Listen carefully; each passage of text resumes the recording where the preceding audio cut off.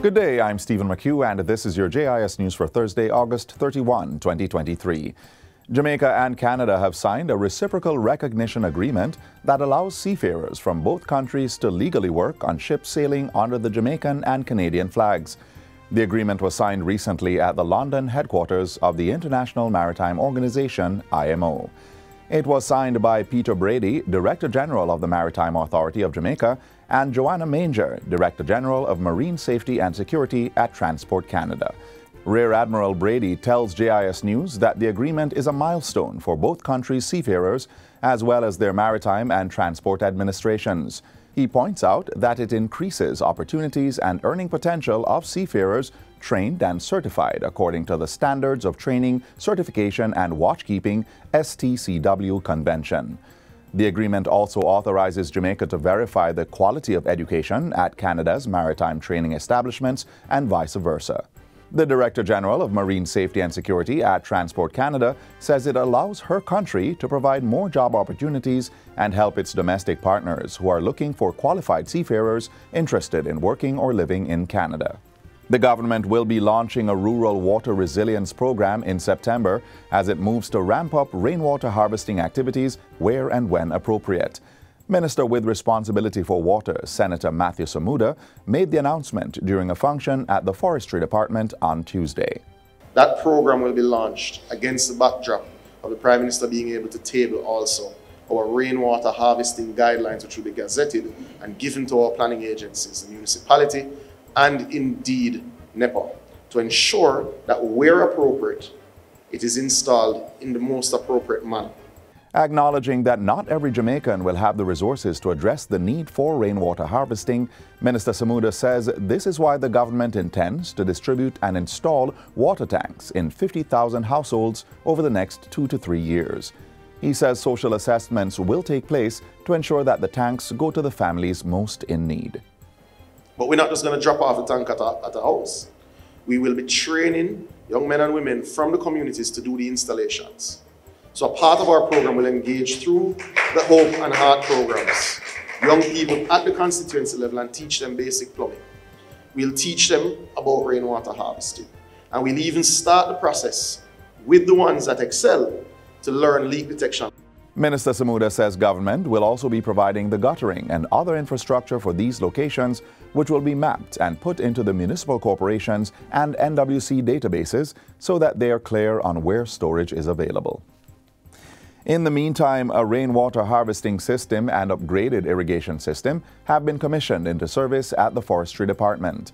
The rainwater harvesting system, which will serve the Forestry Department's head office on Constant Spring Road, was procured and installed at a cost of $9.1 million. It has four components, namely a catchment area on the roof of the property, a conveyance system comprising gutters and pipes, a storage facility that is a bank of plastic tanks, and a distribution system using a pump. The system is aimed at increasing the overall climate and disaster resilience of the Forestry Department by creating options for water capture, storage, and use.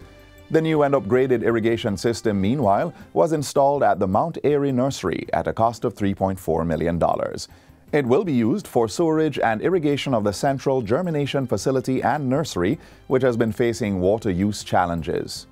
This investment in the irrigation system of over $3 million will also protect Water Commission, but it will also optimize our use of that resource and ensure that we are turning out the volume of plants that we need from our nursery. It is anticipated that with the new systems, the Forestry Department will increase its production of seedlings and restore seedling beds. The government is taking steps to improve commuting in the corporate area with a proposal to relocate more public passenger coaster buses into the Halfway Tree Transport Center. Chairman of the Transport Authority, Owen Ellington, says the proposal is to relocate buses that traverse the Constant Spring and Red Hills route. The Transport Authority met with stakeholders earlier this week to discuss the proposal. Some weeks ago, an effort was made to um, relocate some of the coaster buses that normally set down and pick up passengers along the roadways in the live lanes to the transport center. The assessment of that shows that it has been working pretty well and that there is um, capacity within the transport center to accommodate more buses. Mr. Ellington was addressing Wednesday's post cabinet press briefing at Jamaica House. He says the transport center will provide a more safe and efficient commuting experience.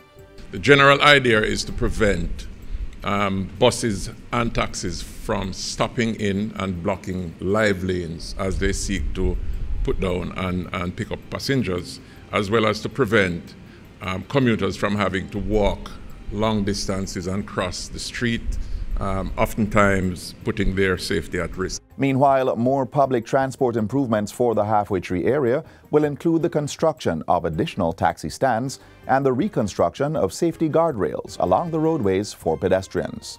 Education Minister Fayval Williams is asserting that there are more available teachers for employment than the school system requires as she addresses the impact of teacher resignations.